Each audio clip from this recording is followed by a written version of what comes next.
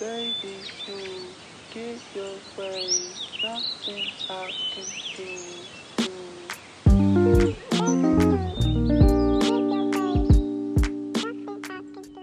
Привет, ребята!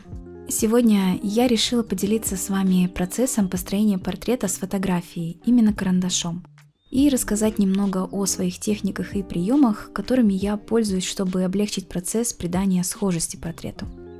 В качестве референса я взяла это фото девушки.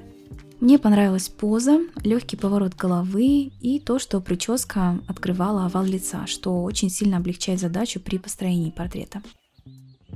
А сегодня для замеров я буду пользоваться своим карандашом. И для начала я отмечаю общий объем головы, то есть располагаю ее на листе.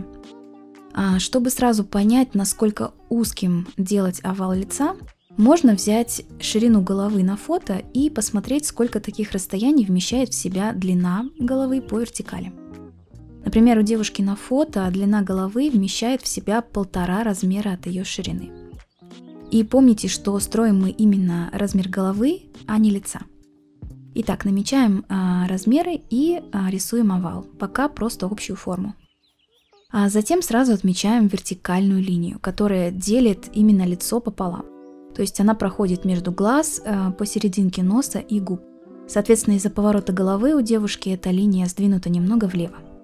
Затем мы находим линию глаз. Как правило, если человек смотрит не вверх или не вниз, а именно строго прямо, даже с поворотом влево-вправо, эта линия находится посередине. Собственно, как и на нашем фото. Далее находим линию бровей. А, я отмерила ее на глаз, но вы можете ориентироваться на расстояние на фото.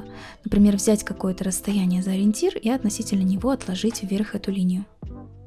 И если разделить расстояние от линии бровей до подбородка, то можно найти линию кончика носа. И если разделить расстояние от линии носа до подбородка, то можно найти линию расположения нижней губы. И это соответствует правилу расположения черт лица, собственно, вы можете свериться на фото, так оно и есть. Далее находим расположение глаз. Вообще можно взять за основу, скажем, расстояние между глаз э, и относительно него построить все размеры. Например, можно увидеть, э, где именно относительно центральной линии расположены глаза, насколько меньше будет левый глаз в отличие от правого из-за того, что у нас поворот головы идет слегка влево. Далее ищем ширину кончика носа. А если провести вертикальные линии от крыльев носа, то можно посмотреть, где именно они пересекают глаза. И относительно этого наметить их расположение. А я также сразу намечаю кончик носа, он слегка вздернут вверх, поэтому рисую что-то вроде треугольничка с мягкими углами. Ну и, конечно же, намечаем переносицу, она у нас узкая, и относительно центральной линии можно также наметить ее ширину и расположение. А далее я нахожу линию роста волос. И э, тут также можно свериться относительно, например, э, расстояния между глаз, если мы взяли его за основу, либо по ширине лица. А также относительно линии расположения носа и бровей э, мы рисуем форму уха. Например, ушко может быть расположено чуть ниже или чуть выше. Ну и затем находим брови. Если провести линию от крыла носа к внешнему кончику глаз, то можно найти внешний кончик брови. Э, в принципе, здесь уже можно отрисовывать отдельные черты лица, например, нос, ориентируясь на фото, конечно же. Э, я смотрю, насколько он повернут влево, как высоко вздернут кончик и где расположены ноздри. Тут уже нужно тренировать свой глазомер и учиться копировать форму, на которую вы смотрите. А ширину губ можно также найти, если провести вертикальные линии и посмотреть, где они пересекают глаза на фото – и отметить это же расстояние на портрете. А дальше мы рисуем форму губ и намечаем подбородок.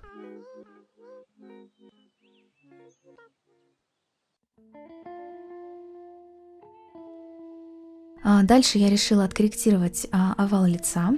Относительно расположения губ можно, например, найти вот этот сгиб подбородка, чтобы сделать подбородок не слишком узким или широким, Обязательно строим шею, и я решила сделать переход в плечи, чтобы у нас портрет смотрелся гармонично и лицо не плавало просто на листе без какой-то опоры. А дальше я приступаю к глазам. А, вообще вы можете начать портрет с построения глаз, я тоже иногда так делаю, но в этот раз решила построить сначала общие формы, а потом уже самое основное – это глаза. А если вы начнете с них, то вам в принципе будет даже легче ориентироваться, потому что, как вы поняли, мы очень много ориентиров строим относительно глаз.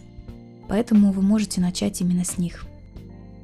А форму глаз я рисую почти такую, как на фото, но я решила их сделать немного больше по размеру, а, кстати, я сняла подробное видео о том, как строить глаза, так что можете посмотреть его по ссылке в описании под видео.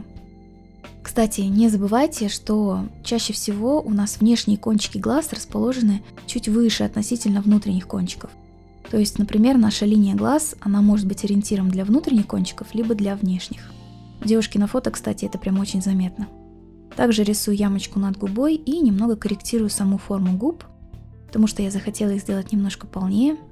Вообще это была достаточно свободная отрисовка портрета. Я вроде как ориентировалась на фото в плане расположения черт лица и общей формы, но при этом заранее знала, что буду менять некоторые черты, потому что я художник, я так вижу, хочу и делаю.